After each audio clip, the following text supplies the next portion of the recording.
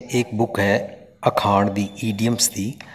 हमने उसमें समझने का जतन किया कि बाणी हमको जो कह रही है, फ़र्ज़ करो, अगर शब्द आएगा, फरीदा खाक ना नींदी है, खाक जेड ना कोई ज़िंदा पैरा तले मोया ऊपर होए। इसका मतलब ये ये जो डस्ट है, इसकी बात नहीं चल रही है। कि ये देखो, ये डस्ट है, इसकी निंदा नहीं करनी चाहिए। एक दिन हम मर जाएँगे, आज हमारे पैरों के नीचे या मरने के मारे सिर के ऊपर आ जाएगी। ये इसकी बात नहीं चल रही है। वहाँ पर फरीदा खाक ना निंदी खाक बोल रहे हैं विजडम को। सतगुरु की मत सतगुर की मत दी धूड़ गुर गुरु की सिक्ख्यावान की धूड़ गुरसिखा की अर धूड़ मनुखा की धूड़ की नहीं गल चल रही। गुरसिखा की अर धूड़ते हम पापी भी गत पाए। विजडम की राज, फ्लावर के अंदर पराग होते हैं। पराग को राज बोलते हैं धूड़ बोलते हैं, एसेंस बोलते हैं। उसकी खुशबू। उसका तत्व ज्ञान फरीदा खाक ना निंदी है। निंदा करना क्या होता है? सच की तरफ़ पिट कर देना। और अगर अपना मुँह पीठ को इस तरफ़ करके उस तरफ़ मुँह कर लेना, ये सच की निंदा खत्म हो गई। किसी चीज़ की तरफ़ पिट कर देना। सो जब अब शब्द आएगा संत की निंदा नानका बौर बौर अवतार, उसका मतलब मेरे अंदर जो सच के ख्याल पैदा होते हैं, मेरे मन ने उसकी तरफ़ पिट कर ली है, निंदा कर देती है। किसी इंसान को संत नहीं बोलते हैं। तो अब हमको समझ में आया कि फरीदा खाक ना निंदी है सच को निंदा मत कर, खाक जेड ना कोई सच विजडम दी तूड़ वर्गी चीज़ कोई नहीं है। ज्यूंदिया पैरा तले तेरे को अगर जीवन जात सीखनी है तो तेरे को पद चिन्ह समझा देंगे स्टेप समझा देंगे how to walk in your life ਜਿਉਂਦਿਆਂ ਪੈਰਾਂ ਤਲੇ ਤੈਨੂੰ ਸੱਚ ਦਾ ਮਾਰਗ ਸਮਝਾ ਦਿੱਤਾ ਜਾਏਗਾ ਰੱਬ ਜੀ ਦੇ ਪਦ ਚਿੰਨ ਉਹਨੂੰ ਕਹਿੰਦੇ ਨੇ ਚਰਨ ਚਲੋ ਮਾਰਗ ਗੋਬਿੰਦ ਮਾਈ ਚਰਨ ਗੁਰ ਮੀਠੇ मीठे तो मिठा हो जाएगा जिंदा पैरा तले मुया ऊपर होए और अगर तू आत्मक तौर पे रोज पल पल मरने की बजाय अगर जीवते मर ले ये कर ले तो तेरी अक्ल उच्ची हो जाएगी तेरी मत उच्ची हो जाएगी अब अगर मत उच्ची नहीं हुई है साकत हाँ ਅਲਟੀਮੇਟਲੀ ਸਾਨੂੰ ਸੁਣਨਾ ਨਹੀਂ ਆਂਦਾ ਇਸ ਕਰਕੇ ਸਾਨੂੰ ਬੋਲਣਾ ਨਹੀਂ ਆਂਦਾ ਜੋ ਅਸੀਂ ਸੁਣਿਆ ਉਹ ਗਲਤ ਮਲਤ ਸੁਣਿਆ ਔਰ ਉਹਦੇ ਕਾਰਨ ਜੋ ਅਸੀਂ ਬੋਲਦੇ ਹਾਂ ਆਮ ਤੌਰ ਤੇ ਬੱਚੇ ਬੜੇ ਆਰਾਮ ਨਾਲ ਆਪਣੀ ਮਾਂ ਨੂੰ ਕਹਿ ਦਿੰਦੇ ਨੇ ਮੰਮੀ ਆਪ ਵੀ ਕਿਆ ਕੁੱਤੋਂ की तरह भोके जा रहे हो उसको पता नहीं है कि मैं क्या बोल रहा हूं अगर ये ना पता हो कि मैं अपनी ज़बान से क्या बोलता हूँ तो इसकी निशानी है ठीक सुना नहीं था सो कुदरत का नियम है कि जो हम सुनते हैं वो मेरे कानों से मेरे अंदर जाता है जो हम देखते हैं मेरी आँखों से अंदर जाता है अल्टीमेटली मेरा मन उसको कलेक्ट करता है। और कलेक्ट करने के बाद वो सारा कुछ मेरा मन बोलता है। बोलने के बाद ज़बान को बोलता है, अब तुम इसको बाहर निकाल के रख दो। जबान उसको बाहर फेंकती है। ये मांस वाली जीभ जो है, इसके पास अक्ल नहीं है।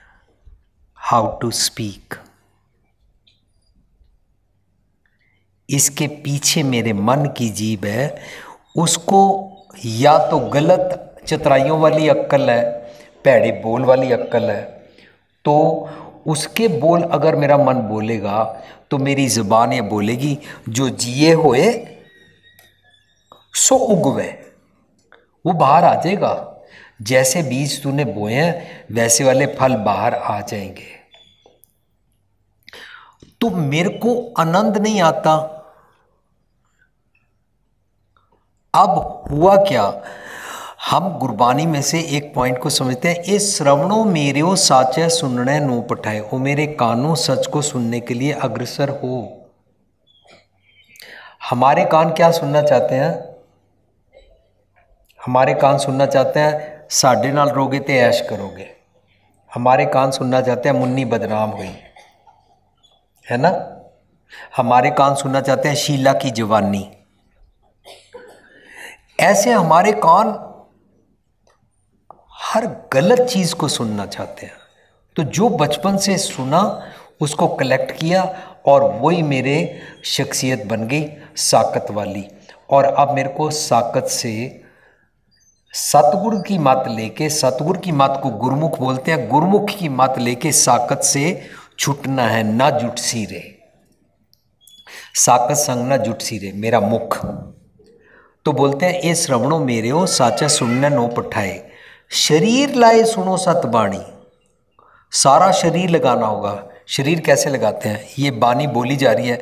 मैं इसके साथ शरीर टच कर दूँ? शरीर लाए सुनो सतवाणी या पूरी बॉडी लगा दो इसके साथ। मेरे मन की बात चल रही है। जब मेरे मन को बोला जाता है, मन कर कबू ना हरगुन गाया हो तो मेरे मन को बोला जा रहा है, पूरा मन करके पाई रे राम कहो चित लाए। पूरा शरीर लगा के मीन्स पूरा इंटू हुट के ध्यान से सुन। शरीर लाए सुनो सत बाणी, जित सुनी मन तन हरिया हुआ मेरा मन साकत है, साकत सुक्का होता है। साकत सुक्के ठूठ होता है।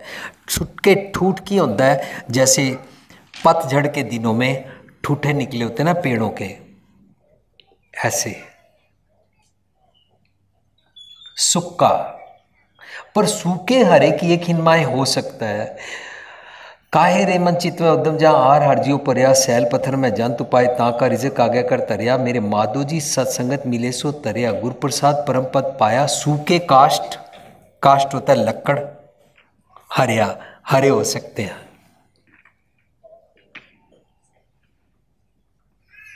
एक पत्नी हमेशा अपने पति को बोलती थी तुसी शराब कदों ਛੱਡੋਗੇ ਤੁਹਾਨੂੰ अक्ल नहीं है पता नहीं मेरे कर्म सड़ के जो ਤੁਹਾਡੇ ਨਾਲ शराबी नाल मेरी मैरिज हो गई बार बार रोज रोज पति को ऐसे बुरा भला बोल बोलती थी बोलती थी बोलते बोलते एक दिन अचानक पति अंदर आया शाम को घर आया और इसने उसके वैसे ही बुरे बोल बोले। फिर आ गया, फिर शराब पी के आ गया, नशे में आ गया, मेरे को मारेगा, गालियाँ निकालेगा, सारे घर के दरवाजे तोड़ेगा। तो पति उस दिन बोलता है, मैं आज शराब पी के नहीं आया। आज मेरा नशा उतर गया है। लेकिन ये जो तेरे को मंदे बोल की जबान का नशा चढ़ गया ना, ये नहीं छूटेगा। ऐसे कहीं पर पति को, कहीं पर पत्नी को, कहीं पर बच्चों को, और हम सबको वो ज़बान का जो नशा है ना, वो दुखी करता है। इसलिए शरीर लाए सुनो सत बाणी जिस सुनी मानता न हरिया हुआ, मेरे को सूखे से हरा किया जा सकता है, अगर हरा हो जाऊँ मैं, अगर मैं हरा होना चाहता हूँ, अगर मैं मन खिड़िया हरिया बाग बनाना चाहता हाँ जिस सुनी मानतन हरिया हुआ, रसना रस माणी वाह, मानतन हरा होया। शरीर लाए सत बाणी सुनी ते रसना विच रस आ गया